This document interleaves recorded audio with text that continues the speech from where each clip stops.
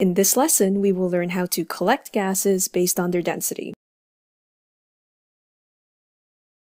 Have you ever wondered why some balloons float and some don't? This is due to the density of the gas inside the balloon. Balloons that float contain helium, which is less dense than air. Balloons that we blow up ourselves contain mostly carbon dioxide, which is more dense than air. Therefore, these balloons fall to the ground. From the introduction, we already know that a gas, less dense than air, rises. These gases are collected using a method called upward delivery. The collection vessel is inverted so that the gas is able to displace the air inside it as it rises upwards. Since air is pushed downwards, this method is also called downward displacement.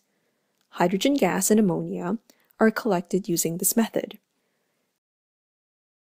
Recall the example of the balloon falling to the ground in the introduction. For gases more dense than air, they are collected via downward delivery.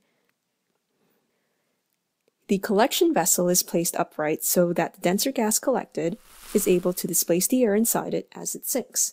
Since air is pushed upwards, this method is also called upward displacement. Carbon dioxide and chlorine gas are collected using this method.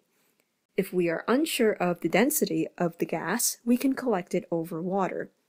Since all gases are less dense than water, displacement of water is possible. Whatever gas produced is bubbled through water and collected in a gas jar. Note that this method will not work for gases which are soluble in water, such as ammonia.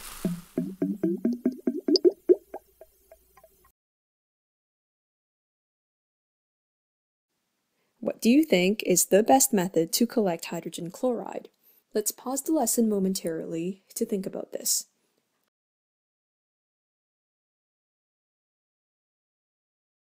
Hydrogen chloride dissolves in water to produce hydrochloric acid, so collecting over water is not possible.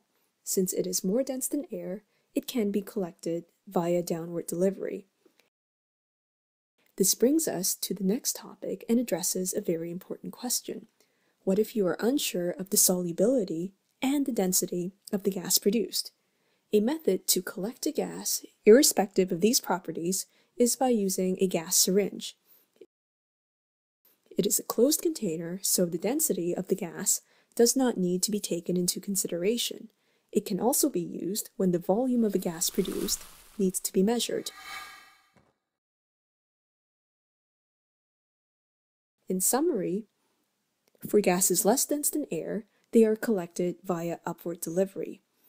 If a gas is more dense than air, we collect it via downward delivery.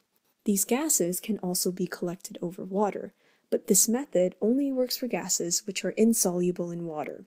And finally, we can use a gas syringe to collect all gases and is useful for measuring the volume of a gas.